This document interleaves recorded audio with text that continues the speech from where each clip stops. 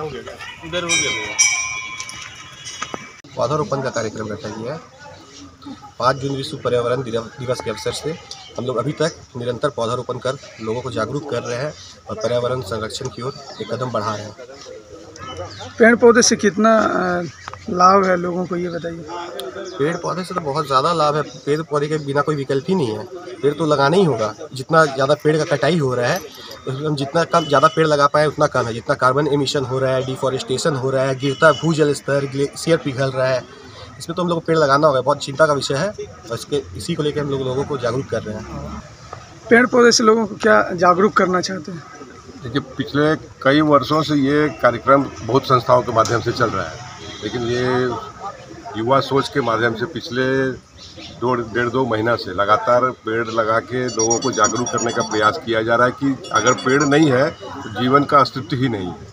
तो अपने अस्तित्व को बचाने का ये प्रयास हो रहा है और लगातार ये प्रयास चल रहा है। विभिन्न विभिन्न जगहों पे लगभग हर सप्ताह में ये कार्यक्रम लिया जा रहा है। लगभग एक लाख पेड़ लगाने की योजना चल रही है। और साथ ही साथ इसको बचाने का भी प्रयास निरंतर पीछे पीछे चल रहा है एक बड़ा मेगा ड्राइव है और ये चलता रहेगा।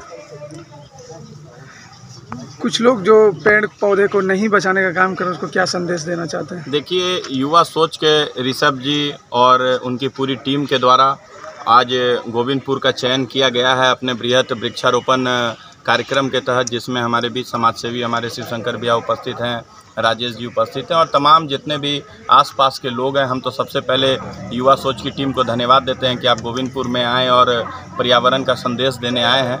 हम लोग इनका धन्यवाद देते हैं। रही बात जहाँ तक वृक्षारोपण की, वृक्ष, एक वृक्ष तो सौ पुत्र के समान होता है। आज के दिन में गोविंदपुर का जो आसपास का क्षेत्र है, ये बड़ी बड़ी मल्टीनेशनल कंपनियों से टाटा पावर लफार्ज के प्रदूषण को झेल रहा है। इस क्षेत्र में तो लगभग दस बीस हज़ार पेड़ों की सख्त आवश्यकता है। हम लोग भी बात कर रहे हैं, लेकिन हम लोग धन्यवाद देते हैं युवा सोच की पूरी टीम का कि आज आप आए हैं। हर एक और इनका लक्ष्य है, पाँच जून से जिस तरह से ये बोलेंगे, इनका लक्ष्य एक लाख पेड़ का लगाने का है। हम लोग इनको पूरा आश्वासन और विश्वास दिलाते हैं कि गोविंदपुर के क्षेत्र में ये जब भी मेगा ड्राइव करना चाहेंगे, हम लोग और इन इनके मदद से और वृक्ष को यहाँ लगाने का प्रयास करें आज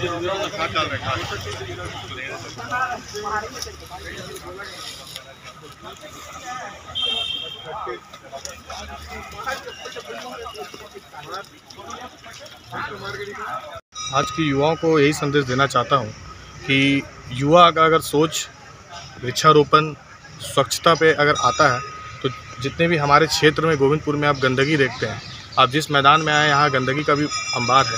बस हमारा यही है कि जितने भी युवा हैं, उनसे यही एक निर्देश है कि आप जल्द से जल्द अपने क्षेत्र को स्वच्छ रखें और वृक्ष रोपण करके ऑक्सीजन का मात्रा को बढ़ाएँ, क्योंकि विगत आप कोविड काल में देख चुके हैं कि ऑक्सीजन के कमी के कारण बहुत लोगों की जान गई है।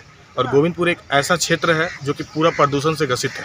चारों तरफ़ मल्टीनेशनल कंपनियाँ हैं, जिसके वजह से प्रदूषण की जन सैलाब उभर के आती है और उसका कोई रोकथाम नहीं है। तो गोविंदपुर में जितना ज़्यादा पेड़ लगे, उससे हम लोगों को बेनिफिट है। और बहुत बहुत धन्यवाद युवा सोच के सभी मेंबरों को, जो कि यहाँ पे आके हमारे गोवर पार्क, गोवर्धन पार्क में पेड़ लगाने का कार्यक्रम किए हैं, जिसके लिए बहुत बहुत धन्यवाद।